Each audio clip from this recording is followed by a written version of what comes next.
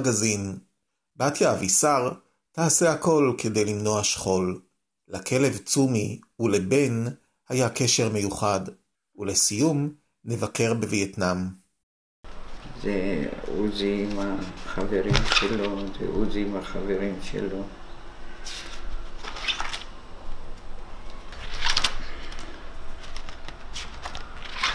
היה לי גן בבית. היית גננת? כן, שנים. הפסקתי לעבוד בהוראה באותה שנה שהבן נפל.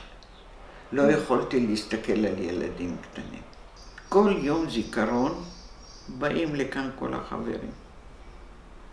ויושבים, וזה לא איזה זיכרון כזה, צוחקים על עוזי, מספרים בדיחות על עוזי, ומספרים מה חדש, ומתווכחים.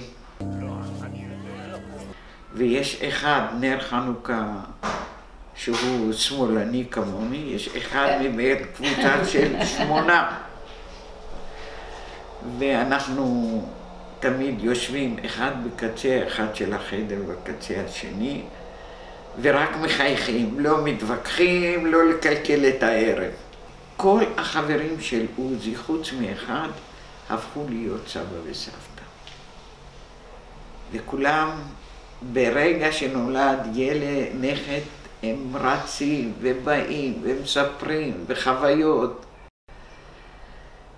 וזה קשר מאוד, מאוד מאוד מיוחד, שכל השנים האלה, האנשים האלה, ואני לא צריכה להקיש להם בדלת, מספיק שאני ארים טלפון, ואחד בטוח יבוא ויביא איתו עוד מישהו. תראי, הפחד הוא שהוא ייעלם לי מהעיניים, שאני לא, שאני לא אזכור איך הוא נראה. זה סיוט שלי. אני מנסה בכל כוחי, אם זה על ידי יום העצמאות, ואם זה על ידי להזכיר אותו בכל מקום. כל... אה, יש בעלת חנות נעליים שקוראים לה בעל של העוזי. אני כל כך נהנית ללכת אליה. לא חשוב לקנות או לא לקנות. אז מה שלום עוזי? אז איך הוא מרגיש? ו- ואיפה הוא עכשיו? עכשיו, למה זה חשוב? כי זה עוזי חי. הוא בחור כזה עדין כזה. הוא לפעמים שואל אותי, למה את אומרת את השם שלי בקול רם? אני אומרת לו בשביל לשמוע אותו, אני מספרת לו את האמת. לשקול יש צבע אחד לאבא וצבע אחר לאימא, וצבע אחר לאחים, וצבע אחר לילדים. כשאני מדברת ואני אומרת, אני עוד מצפה לעוזי, אני הייתי איתו בהיריון הכי שמח בעולם. אנחנו גרנו בכפר, ולקחו אותי עם כדי חלב, שמחלקים את הכדי חלב, ללדת. זאת הייתה שמחה של כל הכפר. היינו ברמת צבי. זאת הייתה חגיגה הכי גדולה. אף אחד לא יכול להחליף אותי לא בהיריון ולא בלידה. בעלי יכול לכאוב על ההפסד שלו, על, על זה שהבן, אני בטוחה שזה כואב לו, אולי יותר ממני, אני לא יודעת. אני מכירה את הצד של עצמי. אתם לא מדברים על זה? פעם דיברנו, היום כבר פחות. תראי, זה אותו נוסח. די כבר, כמה את יכולה לדבר על זה? ארבעים שנה, נו באמת.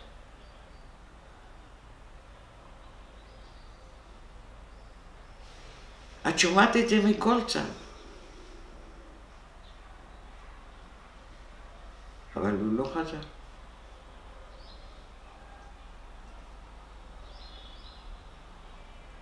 גם היום, אם תשאלי אותי, אני אשמח לדעת שעוזי הגיע. מאוד. שהוא יבוא ושיהיה לי סיפורים.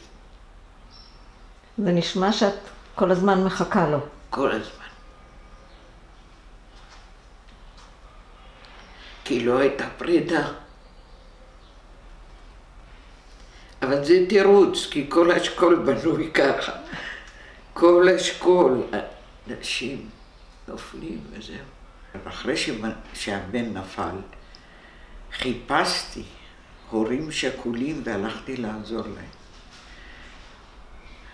אני התייחסתי, טיפלתי ועשיתי כל מה שביכולתי למען משפחות שכולות. שאז לא היה טיפול כמו היום, שיש עובדת צמודה וכל הדברים האלה, כל הדברים האלה התפתחו. לעתים היו הורים פשוט לבד. ויש הורה מרמת גן שהתאבד, יש כל מיני מקרים. ואני תמיד נכנסתי כזה, את יודעת, קודם כל להאמין שהם ממשיכים לחיות אחרי השכול. שכול זה הדבר הכי נורא בעולם. זה אלוהים והשטן התערבו ביניהם, והשטן ניצח. זה יותר גרוע. אין דבר כזה, אין דבר כזה. שאתה עומד אין דבר כזה.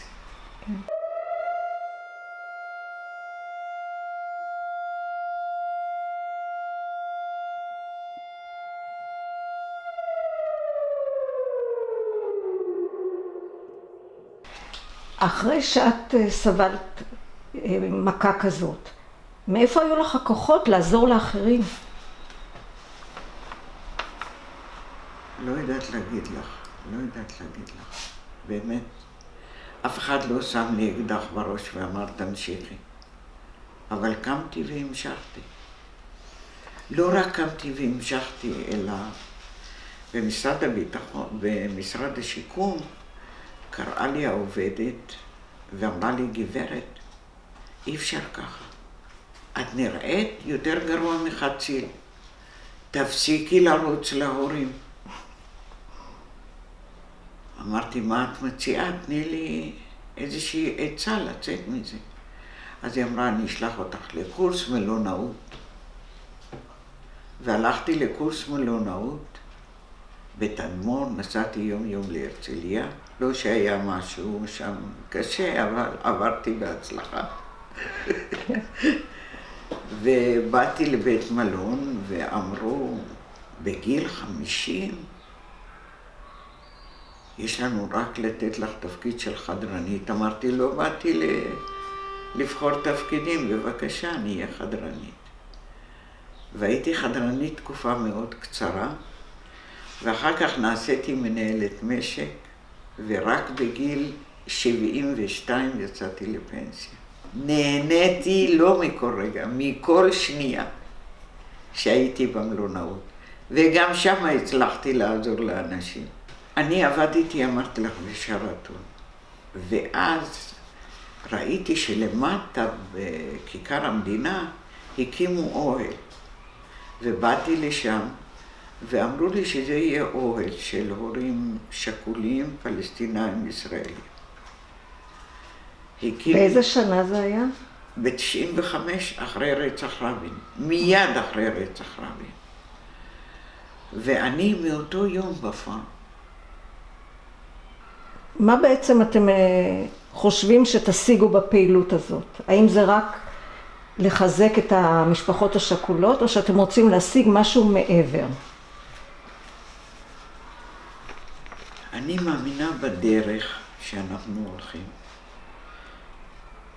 אתה לא יכול לדבר עם חולי סרטן על שפעת. אנחנו שכולים והם שכולים.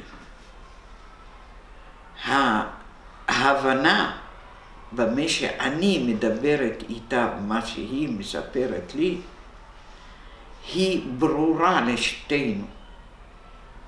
שהיא מספרת לי, היא אומרת, את יודעת, אני שונאת להסתכל על תאנים. הוא כל כך, או היא, כל כך אהבה תאנים. והייתי עושה ריבה כזאת, והייתי עושה מזה ככה. אני מבינה אותה. אני מקווה שזה... שיהיו, קודם כל שיהיו פחות משפחות שכולות. שלא יהיו בכלל. אבל שתהיה יותר הבנה שאנחנו יכולים לדבר. מה אנחנו עושים עם שכנים שאנחנו רבים איתם? אם אני נועלת את הדלת, אז מה, השכן מתאדה? הוא שכן שלי. אני חייבת לדבר איתו. זאתי, תדברי הנה, הנה, תשמעי, תשמעי. עם הסבתא שלנו, אני בת שלה, הנה, הנה. מאבא הערבי.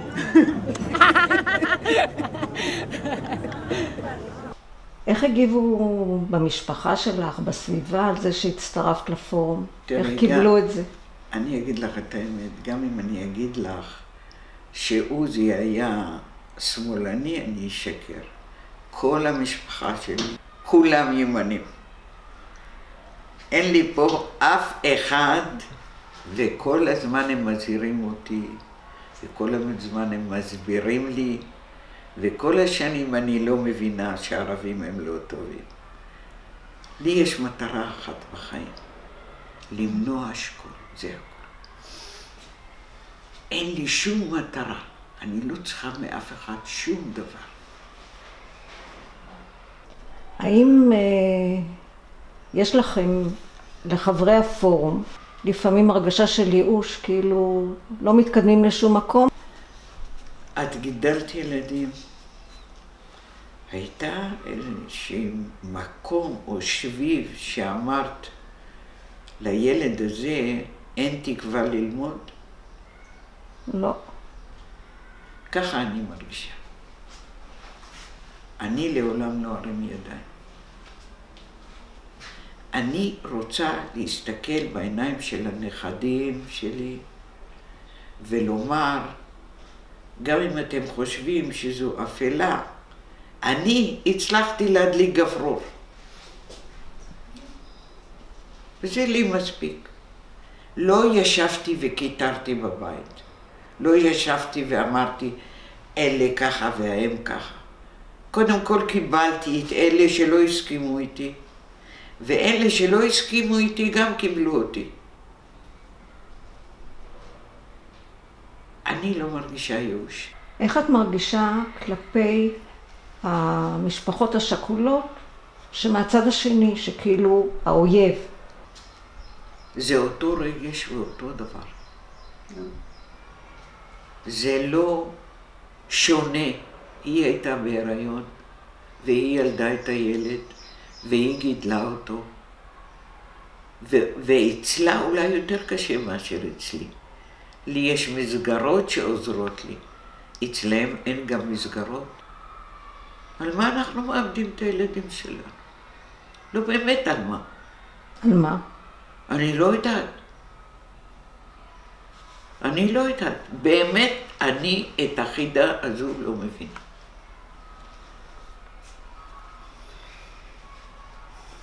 עכשיו, המשפחה שלך, אמרת שהם ימנים, כולם. אז הם מש... השלימו עם זה, או ש... תראי, אני יצרתי תמונה שמה ששייך לי בחיים זאת המסגרת שלי. אני הבאתי לכאן פלסטינאיות, ולא, אף אחד לא הפריע לי, אבל אף אחד לא שיתף איתי פעולה. יש הבדל בין הדברים. אתן לכם דוגמה. אחד החברים של עוזי בא וראה אותי, פתאום אני מתרוצצת ככה ולא שמה אליו לב. באתי, מה קרה? אמרתי, תשמע, הפלסטינאיות מגיעות, ואתה יודע, אין לי קינוח. אחרי חצי שעה הוא חוזר עם סלסלה כזאת אה, של תמרים, והוא אומר לי, בתיה, הבאתי לך קינוח. אה, תעשי לי טובה, תדאגי שכשהם יאכלו יחנקו עם זה.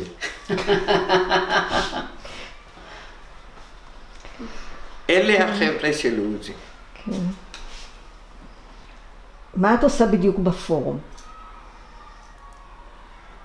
תראי, היו פרויקטים מאוד מיוחדים, כמו למשל, עשינו מבצע שנמשך כמעט שנה, של ריבות וחמוצים, ומכרנו אותם בסינמטק. והאנשים האלה הרגישו מלכות. היה להם את הכסף שלהם בכיס שלהם מעמל כפיהם. זאת הייתה חוויה מדהימה. אני משתדלת להשתתף כמה שיותר. עכשיו, עכשיו היינו בירושלים, בבית ג'אלה, ועלתה האם אבוחדר, וזה היה כל כך מרגש, את לא יכולה לתאר לך. ואני הרגשתי צורך לבקש ממנה סליחה. והיא הסתכלה עליי ואמרה לי, זה לא אתם, זה הם. ההבחנה הזו שיש אנשים שמוכנים לחיות איתם ולשתף איתם, היא כבר לא נדירה, היא קיימת בעם הפלסטיני.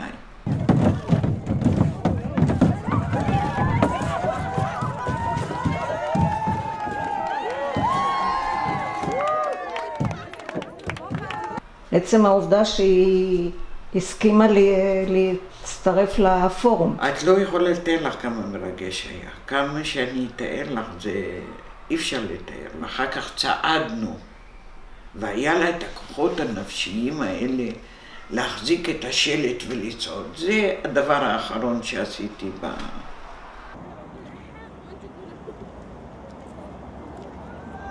אני מאוד מקווה, מאוד מקווה, שיסתכלו על זה ויבינו שהמשותף בינינו הוא הרבה יותר גדול מאשר כל התירוצים שמוצאים מסביב.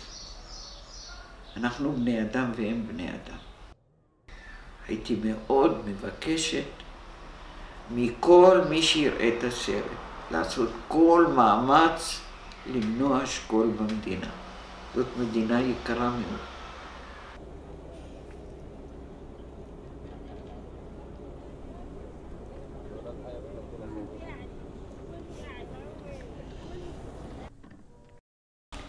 מאז שהילדים שלי היו קטנים, הם רצו כלב בבית. אבל בן אמר, בשום אופן. והשנים עוברות, עוד שנה ועוד שנה, אבל התשוקה לכלב לא עברה.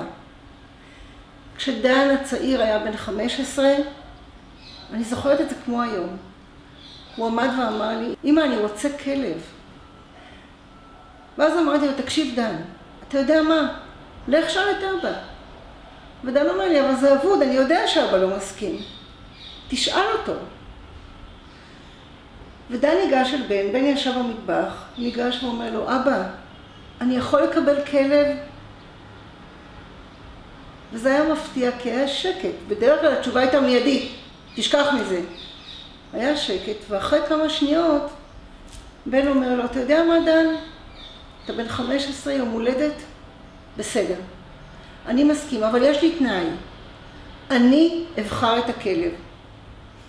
תקשיב, השמחה הייתה פשוט בלתי רגילה. דן לא האמין, יש! כעבור שלושה ימים הגענו להרצליה, לשטח של אימוץ, של SOS. אה, באים אנשים שרוצים למסור את הכלבים, באים אנשים שרוצים לאמץ כלבים, ואנחנו נכנסים, דן, בן ואנוכי. מיד בכניסה שמתי לב שבן התיישב על כיסא, עמד שם בן אדם עם כלב, והוא מתיישב. אמרנו לו, בן, אנחנו הולכים לחפש כלבים, תלכו. אני הלכתי לחפש כלב שחור, היה לי פעם כלב כושי שחור, וזה המודל שהיה לי, נורא רציתי. דן רצה כלב גדול, הוא אמר, זה כלב קטן? אני צריך להרגיש כלב. ואנחנו מסתובבים, מסתובבים, מחפשים אה, כלבים, מחפשים אחד את השני. דן מצאתי, אני אומרת לו, ודן אומר, אמא, אני גם מצאתי, בוא נלך נגיד לאבא. אנחנו חוזרים לנקודת הכניסה, בן עדיין יושב שם, בן, בחרנו שני כלבים, רצית להחליט? תחליט מביניהם. והוא מסתכל עלינו ואומר, אני בחרתי ברגע שנכנסתי. זה הכלב שלנו. ואנחנו מסתכלים, כלב קטן, לבן, לא, לא התרשמנו כל כך. בן, למה בחרת בזה? זה הכלב שלנו. נסענו עם הכלב הביתה. שמונה וחצי שנים גדל הכלב אצלנו. היה איזשהו קשר נורא מיוחד ביניהם. הסיפורים הקטנים של היום-יום. בן יושב במטבח, הוא קרא לזה המפקדה שלי, וצומי יושב לידו. לפעמים היינו יושבים לאכול ארבעתנו, צומי היה מתקרב לשולחן, לא יושב לידי, לא ליד רן, לא ליד דן, מתיישב ליד בן, מניח את הראש על הירכיים שלו, מרים את הראש ומסתכל עליו. הוא היה מגניב לו אוכל, אנחנו לא כל כך אהבנו את זה, למען האמת. כי הווטרינר תמיד אמר, חבר'ה, הוא שמן, זה לא בריא לו לאכול אוכל שלכם. באים הביתה, בן, אל תיתן לו אוכל. אבל אני לא יכול, הוא מסתכל עליי. וכאשר הוא היה יורד איתו, הוא היה עושה לו סיבוב, ותמיד לוקח ספר. היה מתיישב, קורא ספר בספסל בגינה, וצומי מתיישב לידו, לא זז. ובן היה אומר לו, צומי, תקשיב, אני מוריד אותך למטה, כדי שתעשה פיפי, תלך לשחק עם הכלבים, מה אתה מתיישב פה לידי? וצומי לא זז. לפעמים היו ניגשים שכנים אל בן, להגיד לו שלום, מתיישבים לידו, לוחצים יד. צומי מיד היה מזנק. עומד בינו לבין אותו שכן, לבין אותו בן אדם שבא לברך את בן, כאילו מפריד, מגן עליו, ממש שומר עליו. נכון שגם אני הורדתי את צומי, וגם רן וגם דן, ואהבנו אותו אהבה ענקית, אבל זה לא אותו דבר כמו הקשר שהיה לו עם בן. לפני שנתיים בן חלה ונפטר. בשבעה ישבנו בבית, כמובן שבאו אנשים וביקרו אותנו וישבו איתנו. כל פעם שהשם של בן הוזכר, אנחנו רואים שצומי זוקף את האוזניים, דרוך כולו, מסתכל מסביב ומחפש אותו. שמתי לב, מיד, שצומי לא אוכל. אני ניגשת לכלי האוכל שלו, והוא מלא. בתום שלושים יום, So we met.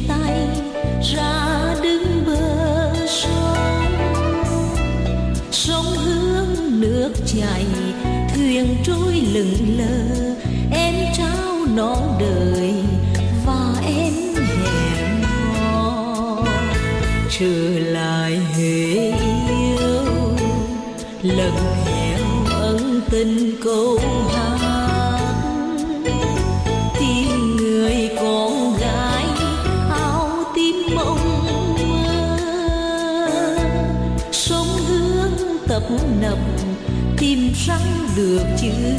Không nguôi kỷ niệm, vòng tay